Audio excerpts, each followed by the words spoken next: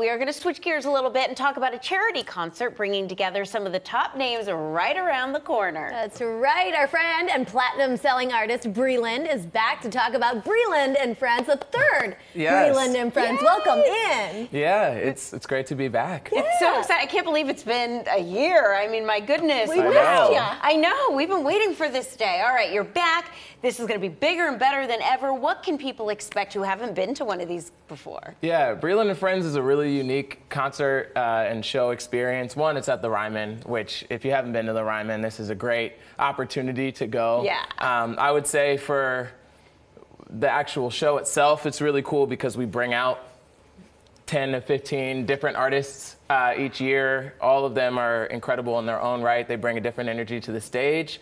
And um, it's a lot of duets and uh, an opportunity for people to support an incredible organization. Okay, so we have to talk about that. It's all to benefit the Oasis Center. Talk about that organization and why you chose that to be the beneficiary. Yeah, they initially approached me uh, wanting to do something together, uh, and I, I went to their to their campus, and they just do such great work, specifically with um, teens in crisis. Um, and that can look a lot of different ways, but their work is really invaluable in this community.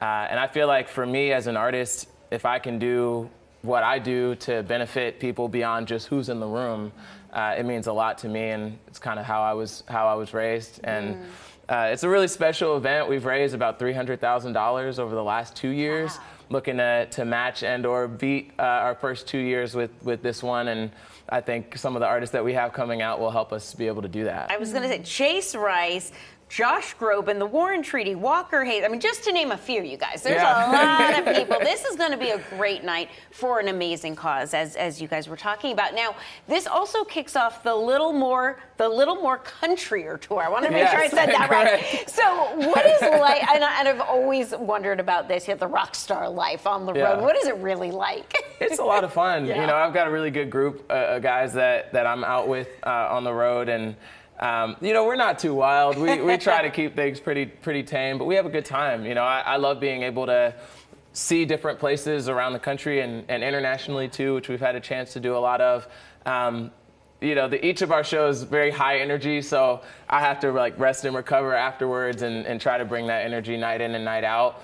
Uh, this tour in particular, you know, this will be my first domestic run in, you know, as a headliner in a year and a half. So I've, I've grown a lot over the last year and a half. You know, some of the opening slot shows that we've played, festivals and things like that, and I'm excited to, to bring that energy to the stage. Yeah, and because you have a lot, like you said, a lot of energy on stage. But you said that you kind of balance it when you songwrite, and- and you have new music coming out. Yeah. So, do you have, can you drop any hints? Yeah, we just dropped a song a couple weeks ago called Yeah. Heartbreak and Alcohol, which has been doing pretty well over the last few weeks. And uh, some more music coming. Uh, potentially, the name of the tour could be uh, an indicator of, of songs that we have in the pipeline.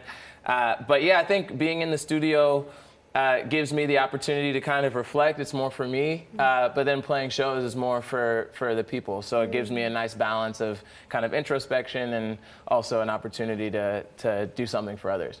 Wow.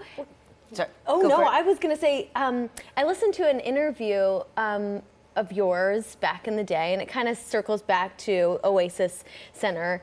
Um, but you said that you had to really dig deep to find um, the confidence Yeah. to move forward because you you were told that you wouldn't be successful. Yeah. So where do you find that?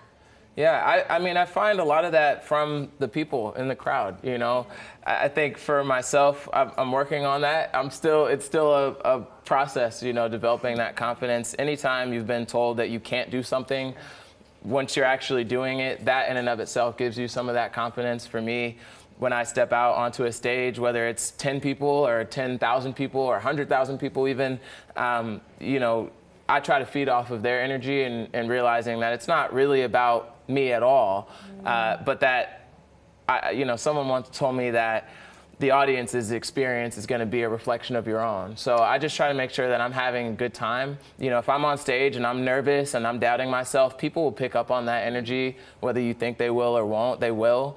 Uh, and if you come out on stage and you're really grateful to be there and you're having genuinely a really good time, they pick up on that. And so I just try to make sure that I can control what I can control and, you know, get as much energy from them as I can while trying to pour as much energy out. Mm, you're So amazing. We love your energy. Yes, we really Please do. Aw, come back guys. anytime. I mean, anytime you want to be here. we'll- Anytime. we'll have Look, you. Literally. local Oh, one, it's too. here. Thank you. Yeah. All right, Breland and Friends Benefit Show is happening at the Ryman Auditorium on March 26th. Get your tickets now and support a great cause.